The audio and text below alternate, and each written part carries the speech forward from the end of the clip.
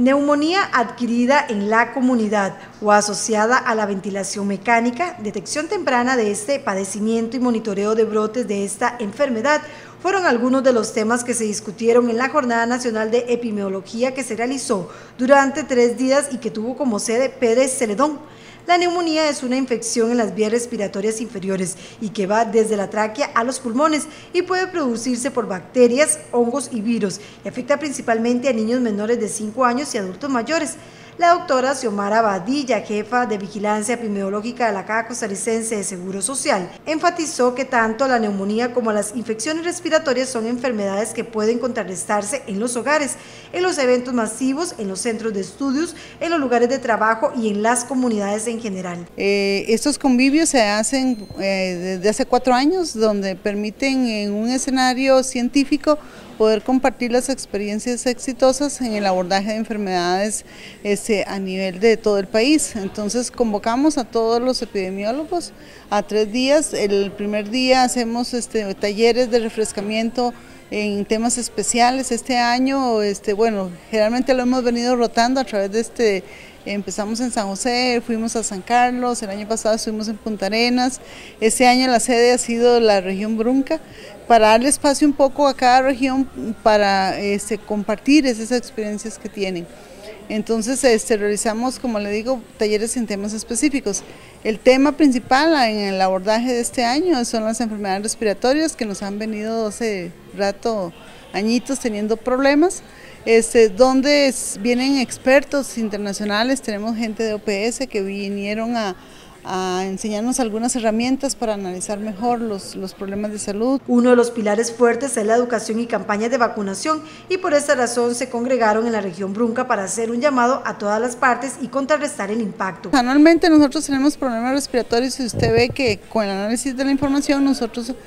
hacemos intervenciones, entre esas está la vacunación, por ejemplo, que hicimos hace unos meses, previniendo las épocas del año, porque generalmente al final del año este, hemos tenido problemas respiratorios. Este año tuvimos un, algo especial que se adelantó bastante la época de problemas respiratorios y ahorita que empieza la época fría volvemos a tener este problemas respiratorios. Entonces este, nosotros le damos un monitoreo especial, sobre todo por los virus influenza, ¿verdad? que son los que más nos provocan severidad y mortalidad y por eso vacunamos contra influenza, que es la de los virus respiratorios, la única que tiene en este momento una vacuna. ¿verdad? Entonces, ese perfil que nosotros vamos haciendo es la que nos permite a nosotros abordar los problemas a nivel comunitario y también enseñarle a la población medidas eh, digamos, de prevención para que evitar que se enferme. Cada año se reúnen para analizar datos y estrategias exitosas a nivel de los servicios de salud, tanto nacionales como internacionales, y donde entidades como Organización Panamericana de la Salud, la Comisión de Ministros de Salud y Vigilancia Epidemiológica participan de la actividad anual. Es muy gratificante para mí, para toda la comisiones de vigilancia epidemiológica de la región Brunca ser parte de este evento, ser sede y además un privilegio tener 17 eh, personas o pasantes capacitándose en lo que es vigilancia epidemiológica para nuestra región.